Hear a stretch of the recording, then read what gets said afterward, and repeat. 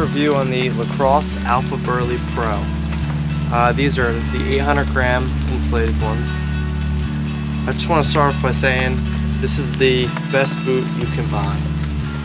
Uh, I've had a couple other boots from Dick's and Gander Mountain and the soles they all split right up in here and down across the bottom and they end up leaking after one season.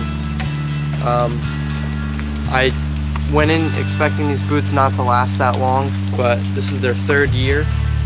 And uh, as a trapper and hunter, everyone knows you need a good pair of boots. These are extremely warm. They're still 100% waterproof. And they have been through everything they could possibly go through and they're still doing awesome. The soles haven't worn out.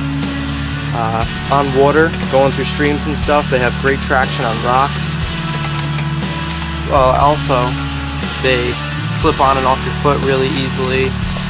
They uh, they have a neoprene. The top right here is a neoprene, and uh, they got the buckle strap in the back.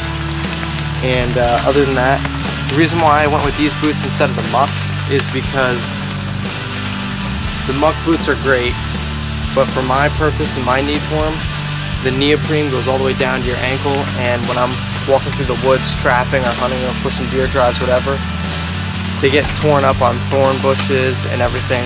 So this has the, the rubber coating almost all the way up towards your knee, and they're just, they're fantastic boots. They're very durable, very warm, just an all-around great boot. I'll never buy another pair. I'm always going to stick with the Lacrosse AlphaBurly Pro.